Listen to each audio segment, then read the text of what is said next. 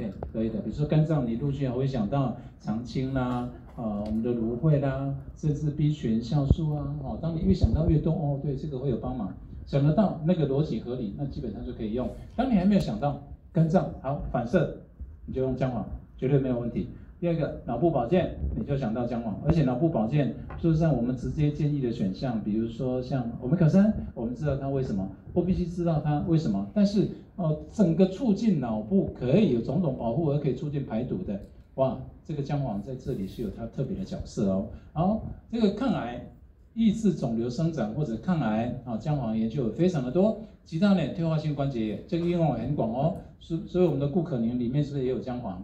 所以你现在可以固可宁再加强我们的姜黄，那个效果绝对会更好的哈。那糖尿病也有很多的研究哈，抗氧化、抗发炎而衍生很多呃这个呃保护因发炎而导致的一些疾病啊，基本上你联想得到的，它研究上你绝对可以找得到啊，它相关的一些研究，比如说降低心血管疾病一定有，改善免疫系统的问题一定有的，因为这些呢通通跟发炎有关系。然后第七个呢，今天跟大家补上去。妇科的保健，妇科上的范围很很广，那因为比率最高的叫做子宫肌瘤，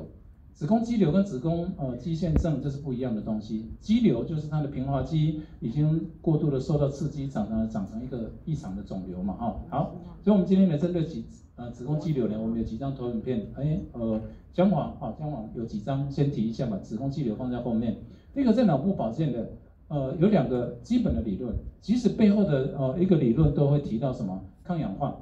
啊，那因抗氧化而产生的保护，现在被证实的有两个很重要的理论。第一个呢，BDNF，呃，原来我们的肝脏跟呃我们的脑部跟肝脏一样，肝脏我们都知道，你这个损伤了，它会再生，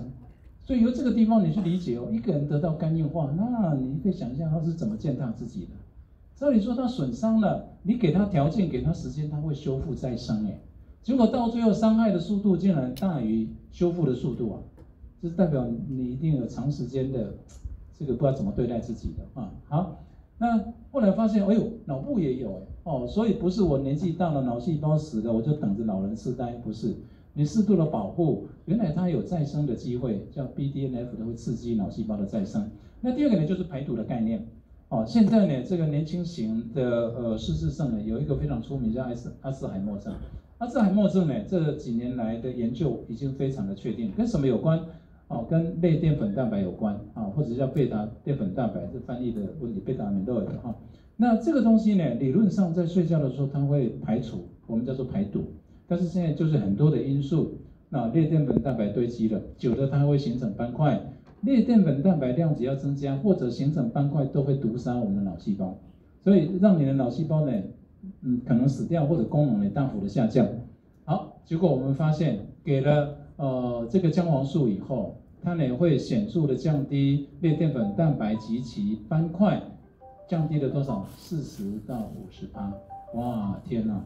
所以简单的说，如果你今天愿愿意呃饮食基本的条件就好了，只要六十分，不要太差就好了。适度的补充姜黄，并把睡眠调整好，你要失智大概也不是那么容易哦。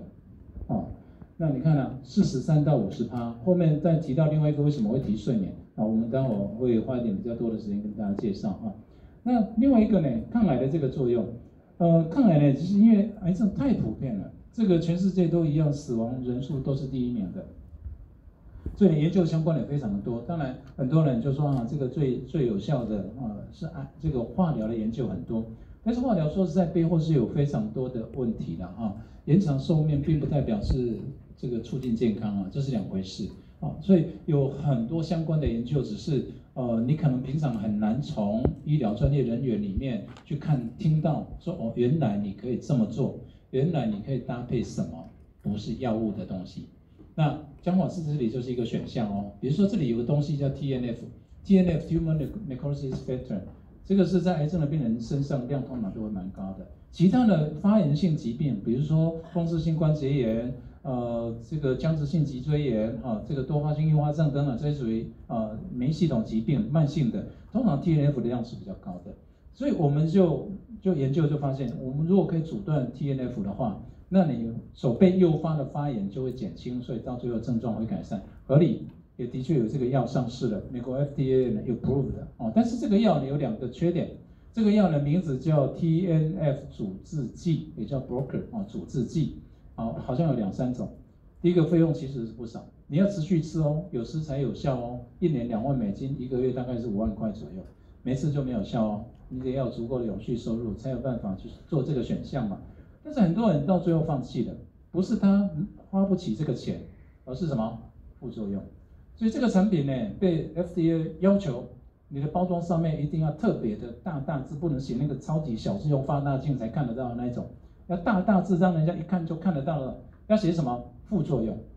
服用本产品可能产生等等等等等的这些副作用，你决定好了再来吃。然后，所以这个有时候会变成一种两难呐，哦，我觉得想要对身体有帮忙，可是它有可能这个好一点，要衍生其他的问题，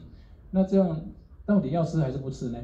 好，我们现在有另外一个新的选项。我们发现姜黄素有效的抑制种种促发炎的途径，包括 TNF，而且效果是非常的明确。所以很多的 paper，包括呃这这篇的 paper，它里面就强烈的建议，姜黄素可以拿来当做 TNF 的阻滞剂，取代药物。而且最重要，它不止有效，便宜、安全，没有副作用。对全身也有整体的保健的效果，不是只有阻断那个 TNF 这一件事情而已。好，这个就是营养非常重要的价值。那再来退化性关节炎，因为在这个时代也非常的多，所以我特别还是再提一下最有效的选项。第一个，我们的呃固可宁里面有呃葡萄糖胺，再加上我们的抗氧化的成分啊，它里面也加了姜黄。那我们现在有额外单独的姜黄成品产品，我们建议大家。搭配姜黄，啊，你的效果会更明显的。那这边呢，对于退化性关节炎的抗发炎的效果，传统的治疗就是用非类固醇性的止痛药，比如说 diclofenac，哦，五十 mg 一天两次，这是标准的治疗。可不可以再多？可以，但是再多呢，风险就更大啊，因为但我会讲它的副作用其实还蛮常见的啊。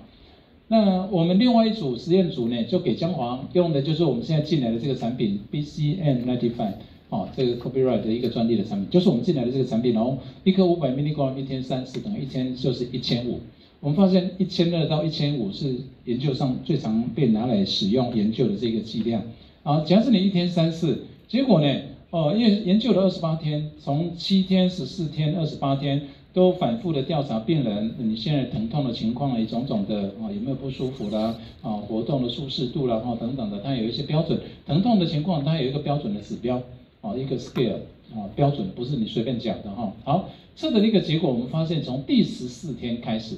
一直到二十八天，使用非类固醇性止痛药的，跟使用姜黄的这两组止痛的效果相同。这样可以看得懂吗？代表你可以用姜黄来取代药物，不过时间要有耐心，要稍微久一点，因为真正到效果相同是从十四天开始。你不要说吃了三天、五天、一个礼拜，哎，没效。实际上，它反应的速度会比较慢，这有它特别的原因然后我们以后有机会再谈。然后这有一个我没有列进来，其实这个研究当中，它还描述到一个差别。今天吃了姜黄，不止疼痛改善，而且呢，这些病人主诉，哎，我活动的舒适度，那种活动的自由度是增加的。